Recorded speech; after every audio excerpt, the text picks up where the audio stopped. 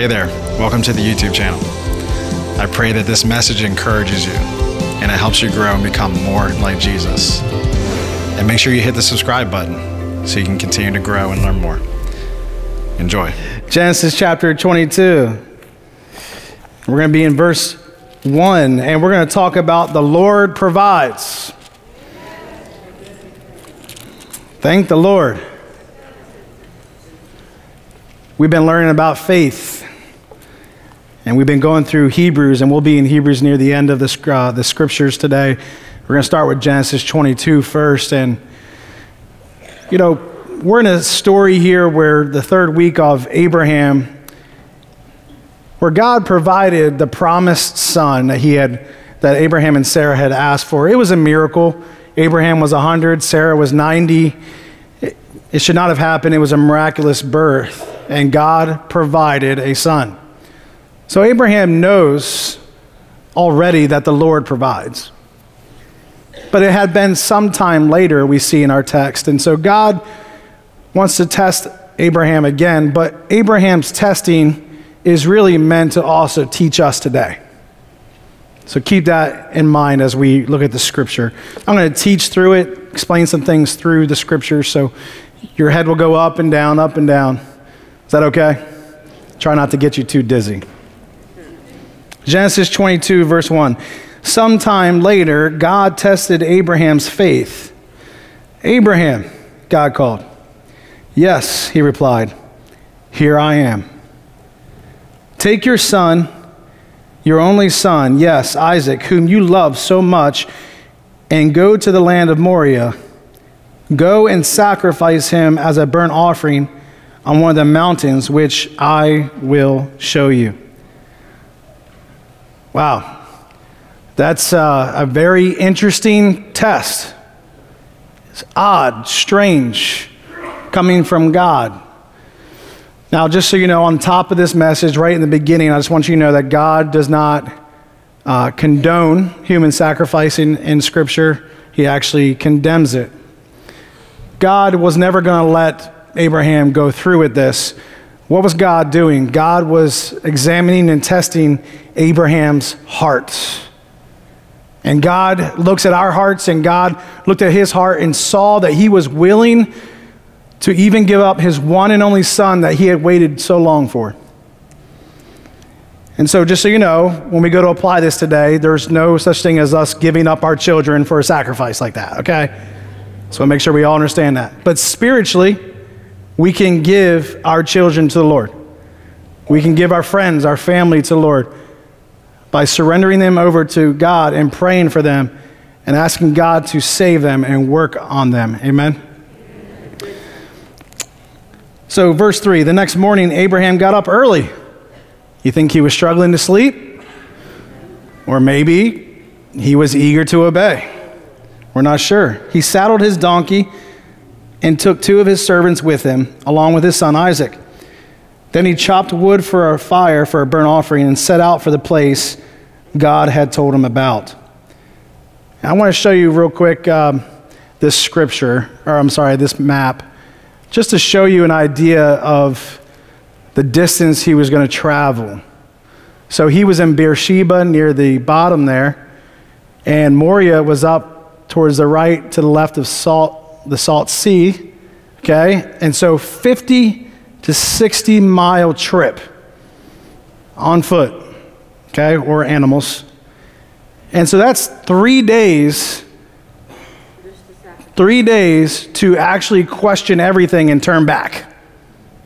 Think about that for a moment. Three days to go, ah, never mind, I'm going back home. Instead, he continued to Mount Moriah. So it's important. I want you guys to see that. Can you put yourself in his shoes a little bit? That's a long time to consider and a long journey to walk three days and go, ah, you know, I don't know. Am I really supposed to be doing this? So, verse 4 On the third day of their journey, Abraham looked up and saw the place in the distance. Stay here with the donkey, Abraham told the servants. The boy and I will travel a little farther. We will worship there, and then we will come right back. Now, first of all, Abraham demonstrates faith by getting up and going to the mountain and obeying God. That's the first moment he demonstrates faith in God. The second moment is right here. Do you notice what he just said? He told his servants, We will both be back. In other words, now, my friends, if we read this too fast, we miss this. Abraham believed that he would come back with his son to his servants after the trip to the mountaintop. That is faith. That is faith early on in this little journey of his, in this story in our scripture today. We will worship there, and then we will come right back. That's plural. Verse 6 So Abraham placed the wood for the burnt offering on Isaac's shoulders, while he himself carried the fire and the knife. What is the fire? I thought that was kind of weird. It sounds like it's already lit. It was. They, they would have either fire pots or they would have torches. They would have lamps where the fire would be lit already, and so they would carry that from the bottom of the mountain to the top of the mountain.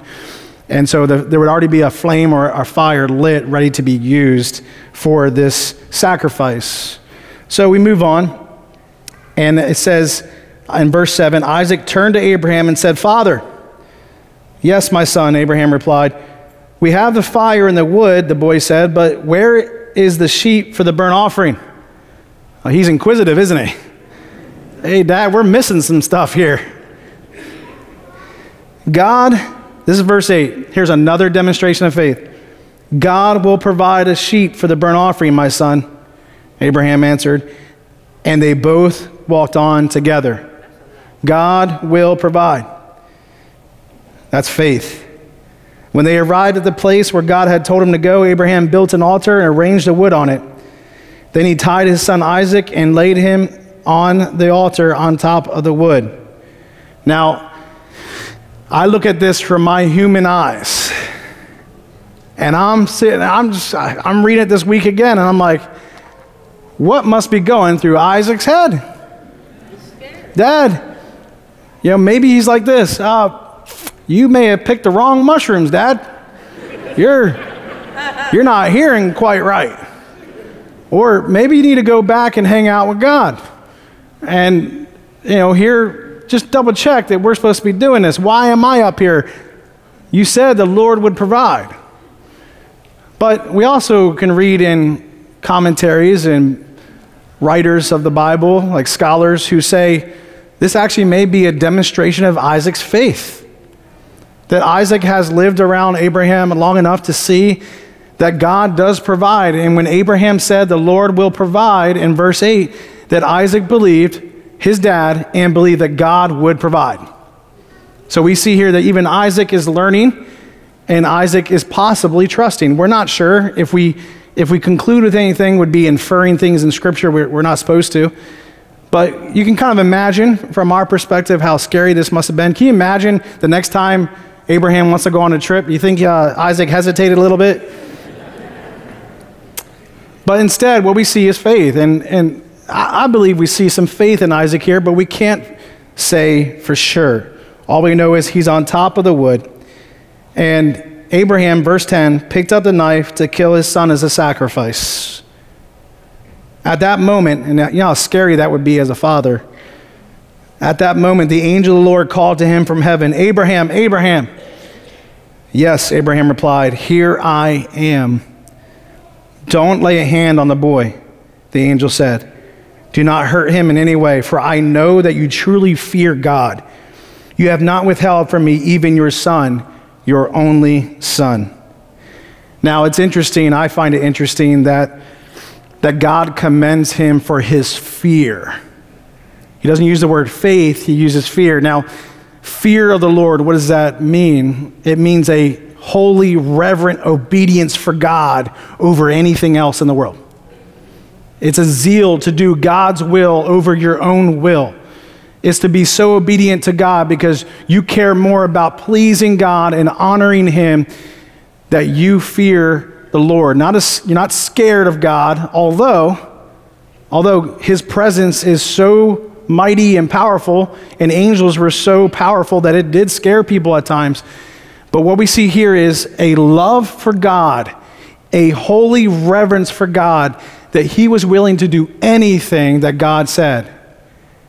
We could use that in our world right now, couldn't we? We could use that in our own walks if we're honest, right? That we would put God's will over our own and trust Him and do what He says to do, to obey. Now, verse 13 says, Then Abraham looked up, and sure enough, he was right, and saw a ram caught by its horns in a thicket. So he took the ram and sacrificed it as a burnt offering in, a place, in place of his son. Abraham named the place Yah- Yahweh Yireh or Jehovah Jireh. The Lord will provide. To this day, people still use that name as a proverb. On the mountain of the Lord, it will be provided. You know, this, this ram makes sense. This is the top of a mountain, and we know that rams are near tops of mountains. They climb up them. So a ram was good. It was in place of a lamb. And so God did exactly what Abraham believed would happen. God provided a substitute. Now, are you aware that this is a foreshadowing of the future Lamb of God? Thousands of years later, God would provide his one and only Son that he dearly loved as a substitute, as a sacrifice for us. The Bible actually uses the, in the Greek for, uh, in Hebrews 11, 17 through 19, when it talks about Abraham's one and only son, it, it really refers to the words or the meaning one of a kind or unique son. And John 1:18 calls Jesus the unique one. And so we see here this picture of Jesus already in the Old Testament foreshadowing something that would be in the distance. But there's even more to that, and, and there are a ton of uh, analogies and, and foreshadowings in this story, but I'm just going to give you three. First is God's one and only Son, Abraham's one and only Son, the ram. And then you have Jesus, who is the Lamb of God, who takes away the sins of the world, according to John the Baptist. And then what about the location? If you don't mind, could you go back to that map? Thank you for going with the flow here. I want you to see what's to the left of Moriah Jerusalem. The Lord would provide our greatest need. Thousands of years later, in the same location. Your greatest need is salvation from your sin salvation from death, salvation from God's coming judgment and wrath. And the greatest gift you receive through that is eternal life, the forgiveness of your sin, to be a child of God. God provided, and He was showing us He's going to provide a substitute for you. God provided Jesus Christ to take your place. And just so you know, we would never be able to pay the penalty we would never have enough to pay for our sins. Only Jesus could do that. The Lord provides. Do we believe Jesus came to this earth, died, and rose again? We do. We celebrate all the time Easter. The Lord provided our salvation. Then we know that the Lord will provide. Amen? So, what happens because of his faith and his obedience? Verse 15 Then the angel of the Lord called again to Abraham from heaven. This is what the Lord says Because you have obeyed me and have not withheld even your son, your only son, I swear by my own name that I will certainly bless you. I will multiply your descendants beyond number, like the stars in the sky and the sand on the seashore. Your descendants will conquer the cities of their enemies, and through your descendants, all the nations of the earth will, will, will be blessed, all because you have obeyed me. See, faith also is obedience. And to believe that God will provide, we have to step out in faith and obey before we even see the provision. Amen? A little scary, right? Take some trust, take some faith. That brings us to Hebrews 11, 17 through 19, bringing us back to our main scripture uh, anchor or hub, so to say. Hebrews 11, 17 through 19. It was by faith that Abraham offered Isaac as a sacrifice when God was testing him. Abraham, who had received God's promises, was ready to sacrifice his only son Isaac, even though God had told him, Isaac is the son through whom your descendants will be counted. Abraham reasoned. Now, just notice this, uh, and just take note of this that there was no resurrection for a frame of reference during this time. There was no example of someone rising from the dead at all. And so Abraham re- reasoned that if Isaac died, God was able to bring him back to life again. And in a sense, Abraham did receive his son back from the dead. Wow. That's how we know his faith. he reasoned that God would raise him from the dead. Why? Because he believed that God's promises would come true. That I would give you a son, and through him, the descendants would come the blessing for all people, including us. Because that blessing was Jesus Christ, who would die for our sins, that would come through their lineage. Abraham believed that. And he said, okay, well, if that's the case, then I'm, he must, God must be ready to just raise him from the dead then, because he was going to keep his promise. Wow, that is faith, my friends. that is faith. So let's apply this to our lives. I've already covered the part that no one's going to take their kids and sacrifice or anything like that. Physically, God condemns that. God does not um, uh, condone that behavior of any sort. God is against murder. God is against people doing human sacrificing. God is against all that. God was never going to let Isaac go or um, Abraham go through that process with Isaac. W- what do we see here? We see here that God is testing Abraham, and what it did is it revealed and refined Abraham's faith. God's going to put you through tests. God will allow you to go through some things to show you, to help you see where you are and where you can grow. You know, God already knows what you're going to do, right? He's all knowing, He sees all things, He can see in advance what you're going to do. But you don't know what you're going to do. And more importantly, you do not know how God is going to show up and provide. What God is asking Abraham to do is step out in faith and do what he's called him to do. And what we see is Abraham showed us great faith. Now, one of the tests that I see in this scripture is the test of our grip. Now, follow with me, okay? The test of our grip. Life was good for Abraham. It had been years that he had his promised son. But when life is good, guess what we get? We get comfortable. We get complacent, maybe a little forgetful where that blessing came from, where I'm headed, what I'm supposed to do, what my plans are. And it could be that God was testing to see the complacency or not of Abraham. And what we see was he was not complacent, he was strong in his faith, he was ready to obey. What about the grip of our love?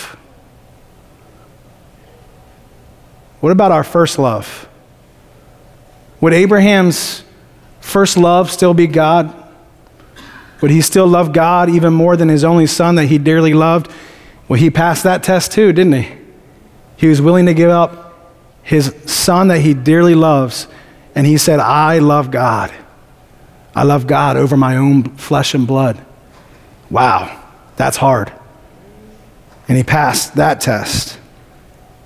When God calls us and tests our grip on things in this world, he calls us to give up things and give him things, doesn't he?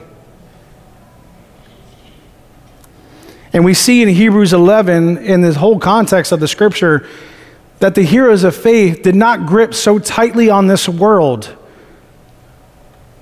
that when God would test them, they wouldn't let go of the world and, and they, would, they would ignore God. No, instead, they let go of the world and they followed God and obeyed God because they were looking for the future kingdom that was coming. They remembered that we're only here for a season, but we'll be with God for eternity. That we are not, uh, we are foreigners in this world. We're strangers in this world. We're pilgrims in this world, just passing through, and that our grip should not be on the things of this world so much, it should be on God.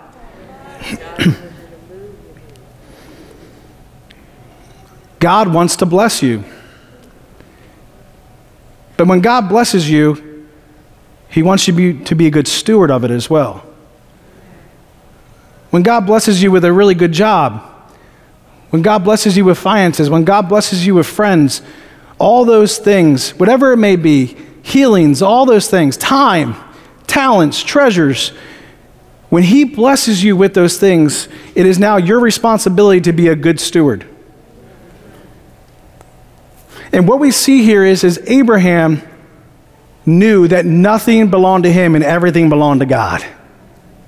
And he was willing to give back to God what belongs to him. But God blessed him and did not allow him to carry through with that.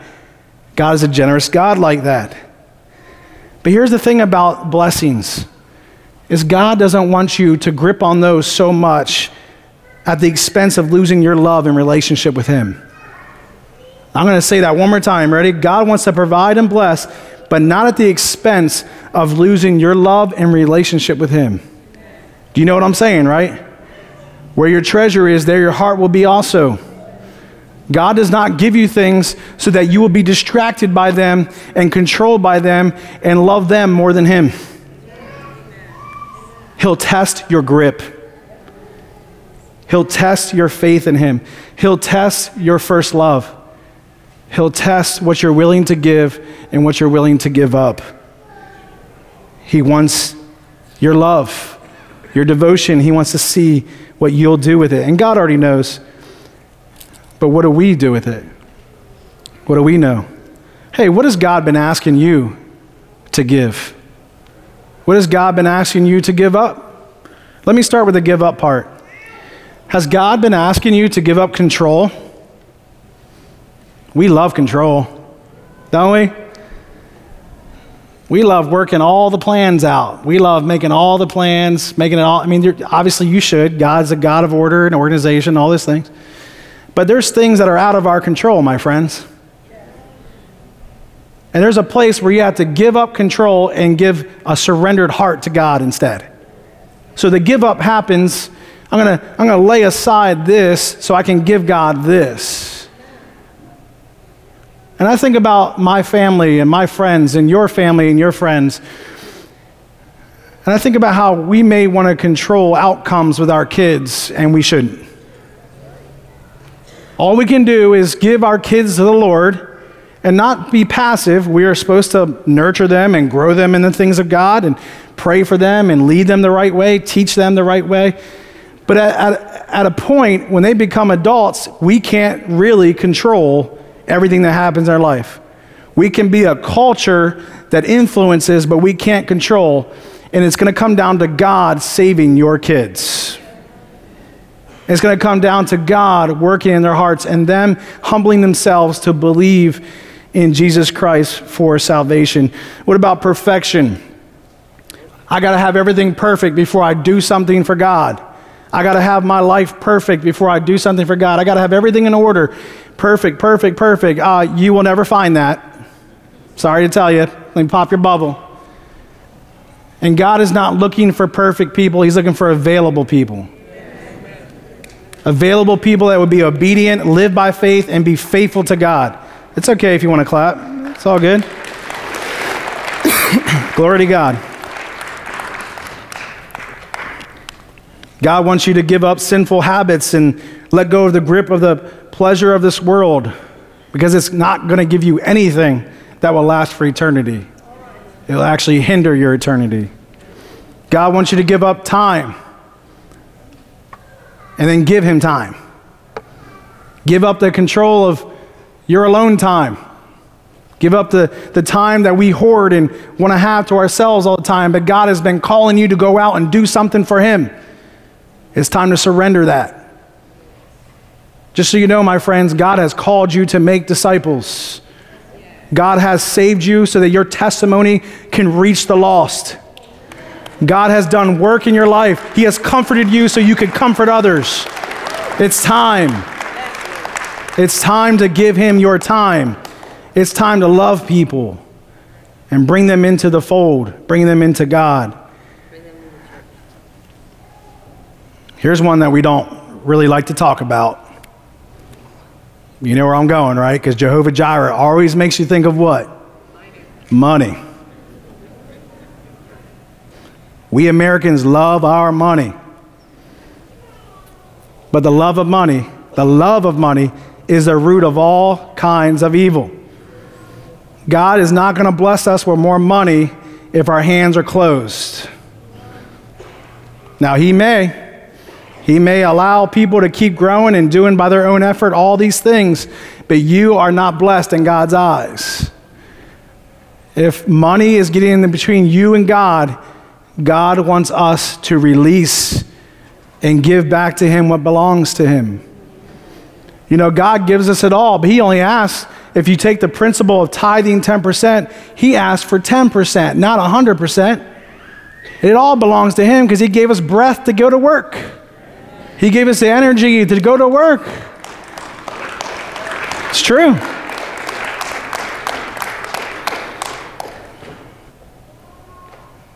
Uh, I'll share a little bit more of that in a moment. How about trust? This whole series has been about putting our faith and trust in Him. I believe God is testing us to see if we'll finally trust Him with these things. What about your health? What about healing today? What about breakthroughs and miracles taking place? Do you trust God to do it? It's time to trust Him. It's time. Because lastly, testing reveals the faithfulness of God. Testing reveals the faithfulness of God. The test revealed to us Abraham's faith, but it wasn't really about that. It wasn't so much about Abraham, it was about God. It was about that God was going to show himself to be faithful. You give me your faith, I will show you my faithfulness. You give a sacrifice of praise and worship, a sacrificial offering, whatever it may be. It's not just money. Whatever you give, I will show myself to be faithful to you and be Jehovah Jireh, the provider of all your needs. Praise the Lord.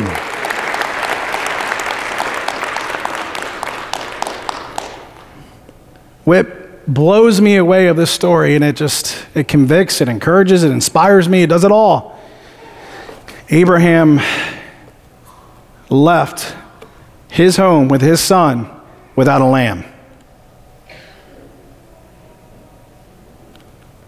and he believed that god was literally going to provide a sacrifice an animal sacrifice from the time he left to the time he got to the top of that mountain he stepped out in faith, even had the blade up in the air, believing that God would give a substitute, that God would provide. In other words, he did it before the provision came. You know what we do? We always wait for the provision to come before we start being generous, before we start believing, before we think we can do it. We wait for that to come. He did it before it came, believing it would be provided. Now that is faith. And now you see why that's convicting encouraging and inspiring. God proves himself to be faithful when we step out in faith. We're going to prepare our hearts to come and pray because I believe God wants to provide whatever you need today. And by the way, it doesn't always come instantaneously, it doesn't always come in the form that you think. I'll give you an example. One of our brothers here at the church by the name of Tom, we need to keep him in prayer. But Tom needed a pair of new lungs. Sits right over here and worships and in the worship service here, and Tom needed some new lungs. Now, just so you know, he was not even on a waiting list. But his name kept coming up in meetings with doctors and dinners. For some reason, his name kept coming up. Well, next thing you know, it, we've been praying, and next thing you know, it, God provides a set of lungs, and they're a match for Tom. Praise the Lord.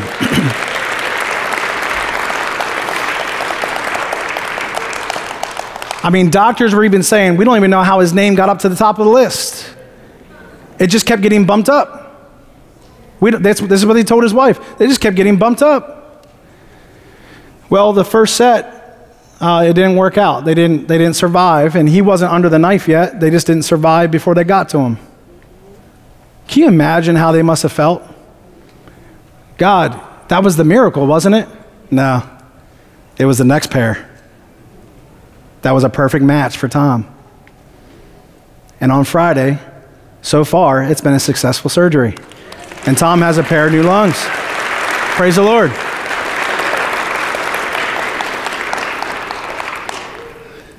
Wow.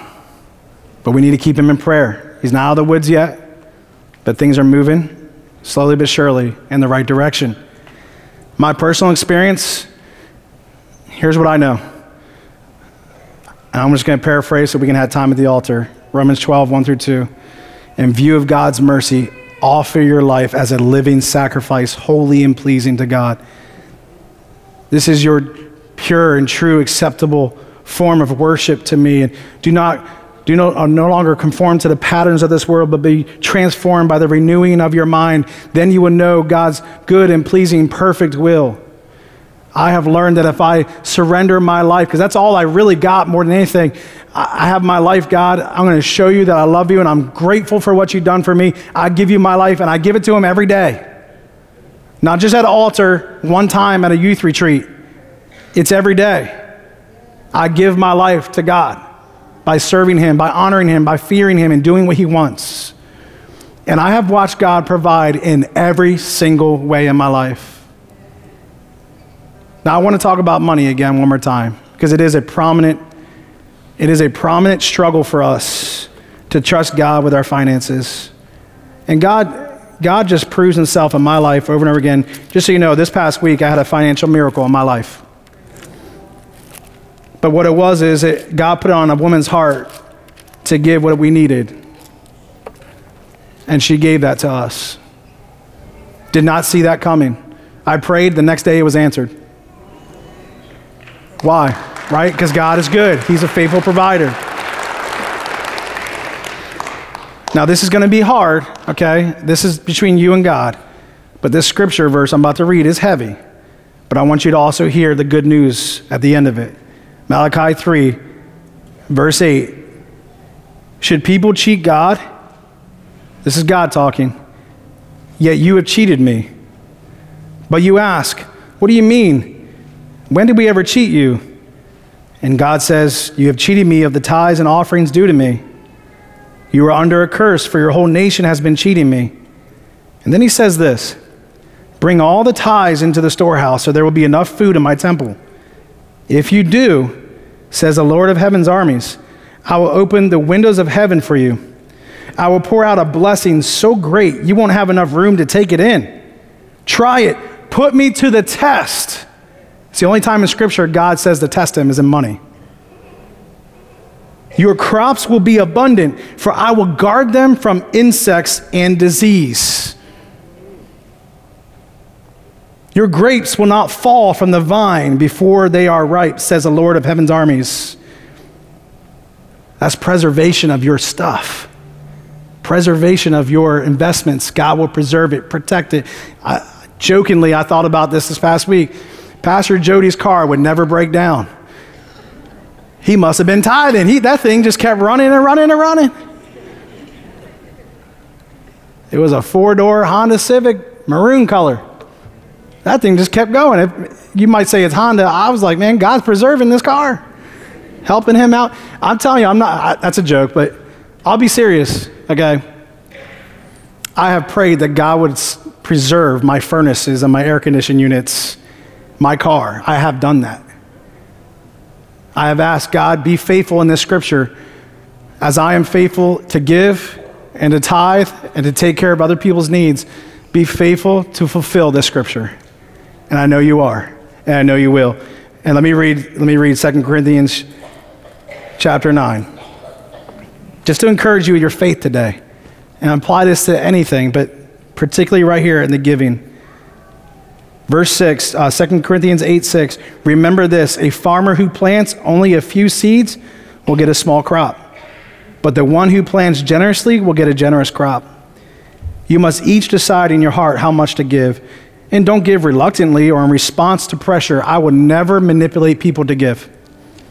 It is the wrong thing to do as a pastor, as a church. You should decide so that you don't give reluctantly when to give and what to give. Okay? For God loves a person who gives cheerfully, and God will generously provide all you need. Then you will always have everything you need and plenty left over. Who wants the leftovers too? Oh, well, let's finish it. I'm glad you didn't say anything. To share with others. To share with others. It, you don't give to get rich. One, we give because it belongs to God. But when He gives to you, it's not just for your own prosperity, it's for the generosity that should be extended to all people around us. And there are people in need, and God wants to use the people who are giving and generous to be blessings of people around them. God will fill your barn, so to say, your storehouse, so you can keep being giving and generous to the work of the ministry at the church and to people in need all around you. Isn't that awesome? And it's not for your prosperity, although he's gonna, he's gonna fill with so much that you will prosper because he takes care of you. But always remember to not cling on to that money more than God, to be a good steward of that money. Amen. Why do I bring this up? Because this is a test in our society in America. Money is a test. And right now, in our climate, our economy, it's a test, ain't it? I can't believe how much my groceries were. My goodness. But the Lord is faithful to provide. The Lord is faithful to provide healing today. Do you believe it? He's faithful to provide breakthroughs of salvation in your family and friends. Let's stand together and let's believe that God wants to provide whatever you need. I felt it so strongly during our worship set. I, I just felt like we, gotta we, we gotta hear this word though. Because the word of God builds your faith as well. Hey, if you need to go, it's okay. No judging. No, none of that. Don't no one give anyone side looks and sour looks as they walk out. It's not about that. Some people got things they got to do and whatnot, but we're going to have a moment here. In the first service, by the way, I felt God was saying, have a desperation for Him. And don't be afraid what everyone thinks when you come down here for prayer. Have a desperation for your children. Cry out to Him for healing. Cry out to Him for salvation. Cry out to Him for financial provision, whatever it may be. Cry out to Him that you will trust Him. But we do have to make that decision. Come on down if you need prayer. Just begin to pray right now with God. And our team's going to come around and pray for you. I don't know who you're standing in the gap for, whether it's for you, whether it's for someone else. Maybe you need to get right with God today. Maybe what you need to give up is your stubborn ways or your plans and give God your life as a living sacrifice for Him. Maybe it's salvation that you need to receive today. The forgiveness of your sins and receive eternal life. God is faithful to provide that. Begin to pray in faith today. Give up the doubt right now. God, we give up the doubt right now in Jesus' name. We give up the worries right now. We give those up and give you faith. We give you our trust. Lord God, we thank you for the healing last week of Jenny Cox, realigning her back, removing the mass out of her back, Lord God. We thank you, Lord. You are a healer today, Lord God. You are healing, Lord God. Lord, nothing is too hard for you, Lord. We're going to pray prayers that are ridiculous to mankind right now, but we believe you will provide whatever is needed, Lord. God, nothing is too hard for God. You can heal backs. You can heal legs, eyes. God, I pray you provide kidneys right now in Jesus' name. Provide lungs. In Jesus' name, restore sight by your power and might. In Jesus' name. Increase our faith, Lord, right now. Give us faith, Lord God. Thank you for the testing. We thank you for it today. We thank you for providing the testing so that our faith could grow. Lord, begin to heal and move as we sing this song, as we worship you.